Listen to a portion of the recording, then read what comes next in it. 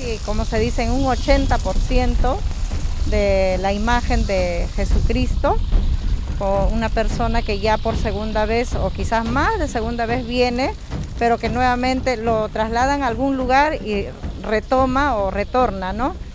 Y a eso de ocho y media, nueve de la noche, justamente algunos representantes me, me dieron a conocer y tuvimos que hacer el llamado a serenazgo, lo cual inmediatamente eh, han podido actuar, pero que lamentablemente este, ha destruido casi parte de 80% de la imagen o quizás 90%.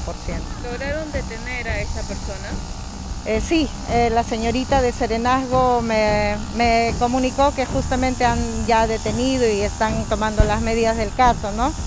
Espero que se resuelva sé que es una persona con problemas mentales y que no vuelva, bueno, que se tome algunas acciones, cuál será la instancia correspondiente, pero creo yo, eh, con el aporte de ustedes que son jóvenes, eh, han dicho que también pudiera ser un tratamiento mental o un estudio para ver a dónde hay que derivarlo, que esa es la manera, la forma, porque, repito, hace un mes y medio igual agredió a dos vitrinas de dos vecinas que hacen sus ventas de alimentos. Ahora, profesora, eh, se trataría aparentemente eh, de esta persona, esta persona con problemas de salud mental que atacó eh, hace unas semanas atrás a un establecimiento en, el, en Aldea Campesina.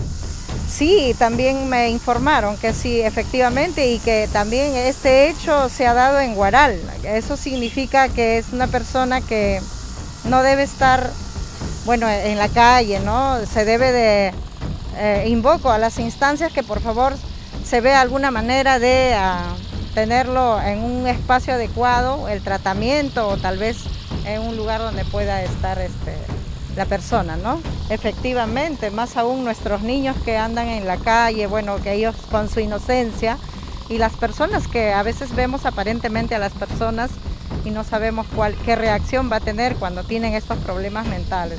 Efectivamente, ¿no? A ver si por parte de la municipalidad es verdad que tiene un centro de salud mental, puedan de repente tomar las acciones del caso, hacerle un estudio, creo yo, y luego ver o derivar a alguna, algún lugar adecuado. Claro, porque como lo menciona, en Chancaillo también ya ha estado anteriormente. Sí, ya hace un mes y medio estuvo y tengo entendido que en Guaral y en La Balanza y me imagino que en otros lugares también, ¿no?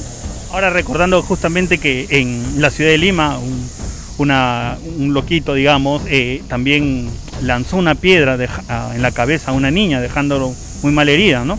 Sí, sí, sí, esos casos sí se han visto en el noticiero, pero un caso, ¿no? Y ojalá no sea la misma persona o si es otra persona, ojalá se actúe de la manera adecuada, porque no se trata de, de juzgarlo, como lo ha dicho la señorita, son personas que tienen problemas mentales y que necesita otro tipo de, tratamiento y de, llevarlo a algún lugar donde pueda estar. ¿no? Esta noche vamos a llamar a las juntas vecinales, que la dirigencia ya, lo, ya tiene conocimiento y vamos a tener una reunión de emergencia y haremos llegar las propuestas, tal vez a la comisaría, eh, también a la seguridad ciudadana de la municipalidad, poner en conocimiento al coordinador distrital que también vamos a formar pronto las brigadas. En las juntas vecinales que nos pongamos la pila, ojalá que todos, de las 10 juntas, las 10 juntas tengamos nuestra organización que corresponde para ayudar como población, como ciudadano y así eh, evitar no solamente esto, sino las formas de, robos que hay o de repente este, problemas que tiene que ver con la delincuencia. ahora, eh, justamente luego de este ataque, eh, justo en la Plaza de Armas hay un puesto de auxilio rápido. Ah, sí, sí, hace meses se ha inaugurado justamente y yo creo que hace falta una atención permanente tal vez o si de pronto el quien estuvo dentro de la, de la instancia o la oficina, no sé, o no se percató porque en realidad eh, yo estuve a la altura de la Panamericana para bajar a ver y se oía fuerte las piedras hacia la puerta del colegio pero para eso ya había destruido seguramente la parte de la imagen de, lo que ha hecho la obra la, alcaldesa, ¿no? Creo yo que en ese aspecto ah, tendríamos que mejorar, ¿no? Tendríamos que reunirnos junto con este, Seguridad Ciudadana que está allá también con la comisaría y la patrulla de carreteras que también eh, en la medida que lo hemos solicitado han acudido, ¿no? Pero no esperemos que ocurra, sino hay que prevenir y hay que ver la forma. Organizados es lo único que podemos hacer. Con respecto a la seguridad ciudadana en Chancayo, ¿cómo, cómo van? Los, los asaltos en la zona eh, agrícola y en el poblado sí se dan, al mes haciendo una evaluación sí se dan, ¿no? Entonces veo que también a nivel nacional, eh, como se dice, se está desatando.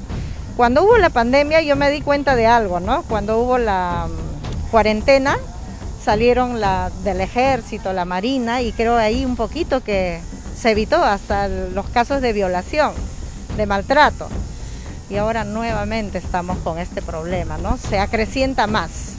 Entonces un llamado quizás a las autoridades también para que realicen un trabajo articulado y se eviten quizás que estos actos delictivos vayan en incremento. Así es, yo pienso que ahorita tenemos que accionar todas las partes y hacer un plan estratégico para poder este, evitar esto. Incluso creo yo que lo va a tomar a bien la minera Colquisiri que trabaja en la zona de influencia, que también Chancaío es parte de. Ojalá puedan, yo creo que hay la voluntad y todos juntos podamos hacer bien, ¿no? O prevenir.